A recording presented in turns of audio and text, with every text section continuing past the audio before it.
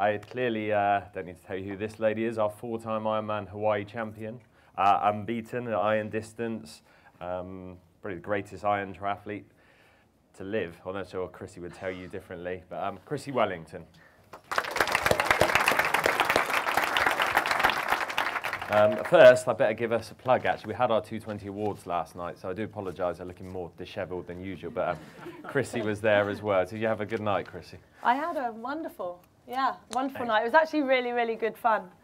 Um, I always love coming to the the Tri Show. It's always been really, really important to me that I come back each year and come to the awards as well, um, just to reconnect with people and come back to where it all started. So you know, it was a great day yesterday and a really good night last night. Although I didn't stay for the dancing. I don't. Mm. I'm sure I you did. Can't remember. um, it's a sign of a good night. you can't remember.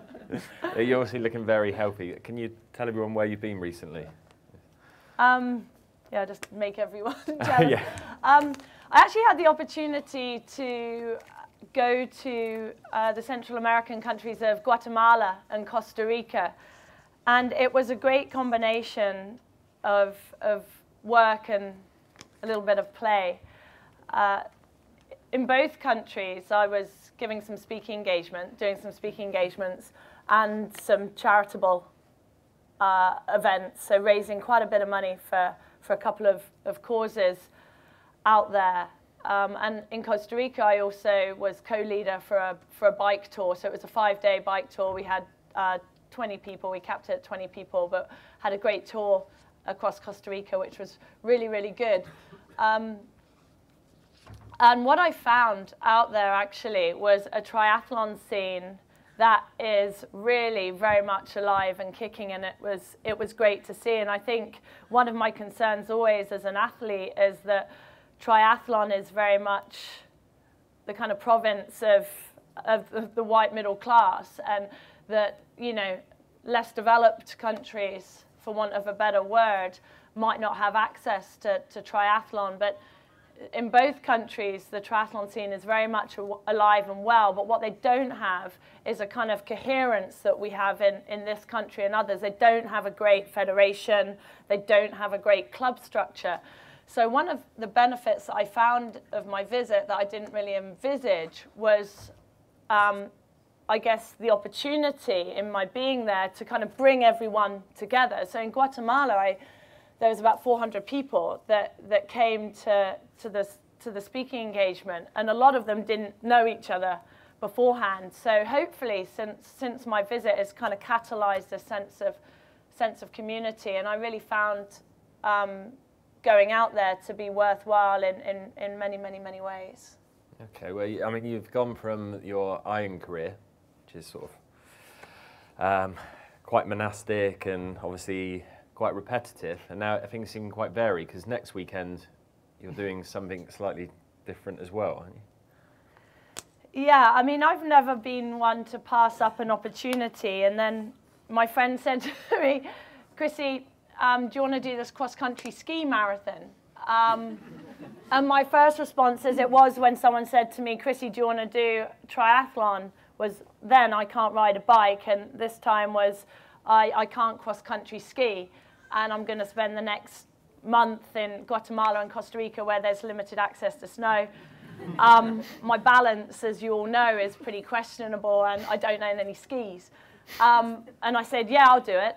So next weekend I'm doing a, a cross-country ski marathon um, in Engadin, Switzerland, very much to, to complete rather than compete and just avoiding um, making too many kind of Chrissie-sized holes in the snow.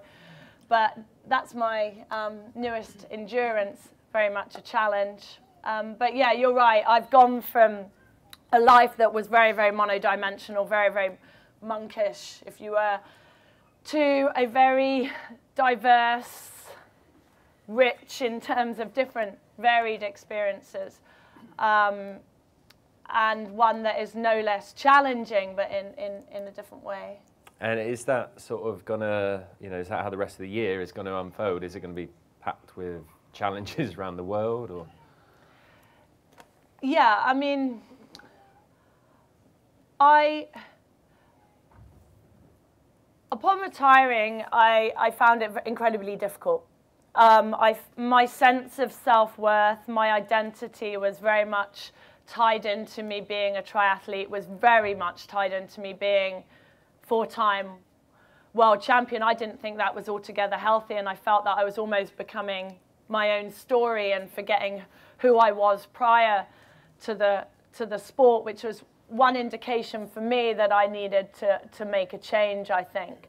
Um, I, as many of you know, feel really strongly that I have a platform and a responsibility now to use my position to um, affect positive change. And that's what I want to do. So in this year and in, in, in the coming years, my focus is very much on um, international development work. I'm um, quite heavily involved in developing two of, of my own projects.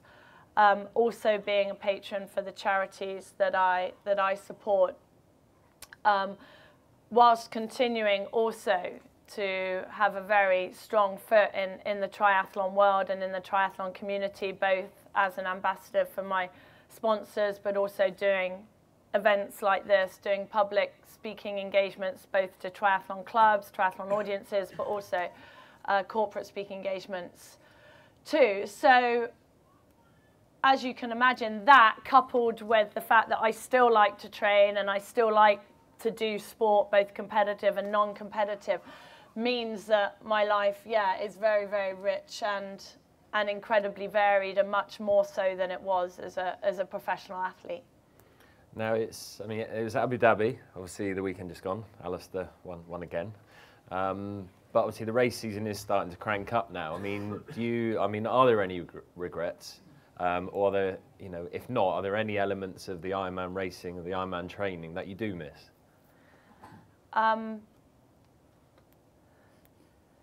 there's not a day goes by that I don't miss an element of, of training and racing for Ironman. Um, I still absolutely love triathlon. I, I love Ironman and I love the gift that it's given me and continues to give so many others. Um, but I have no regrets about the decision I made. I know that I made the, the very, very best decision for me and, and my life. And um, what it boiled down to was um, remembering why I got into the sport in the first place.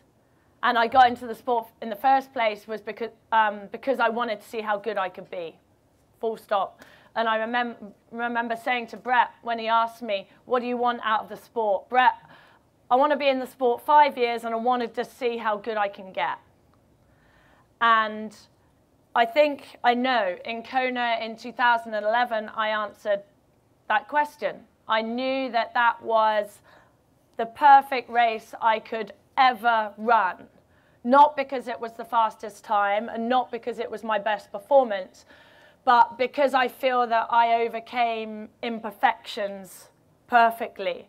And I felt that whatever I was searching for, namely, was I worthy of being world champion, I think I, I answered. I answered that question. Um, I had the fight and the race that I'd always dreamed of, both within myself and with my competitors. And it liberated me, and I felt I don't know, somehow that I was enough and that I'd done enough and I'd proven enough to myself and that it was that it was time to, to move on to new challenges. And for all of us, including me, um, Ironman triathlon is, is one of our, our biggest challenges. And quite rightly, it's an amazing challenge. For, for me, it was no longer the challenge that it once was, I think, because I'd answered, you know, the biggest question of all. The biggest challenge for me now is to cope with a life without it, is to cope with a life that is unstructured, un, you know, unregimented, that isn't focused on a, on a singular goal. That's the biggest challenge for me, is moving away from that and coping with the, the physical and the, the mental um, aspects of, of, of retirement. So I think Ironman was very much in my comfort zone. Being retired is very much out of it. And um, not that Ironman was easy, but I think for someone like me, it was, it, was, it suited my, my nature and my characteristics. So to be out of that is actually, in some ways, more challenging than being, being in it.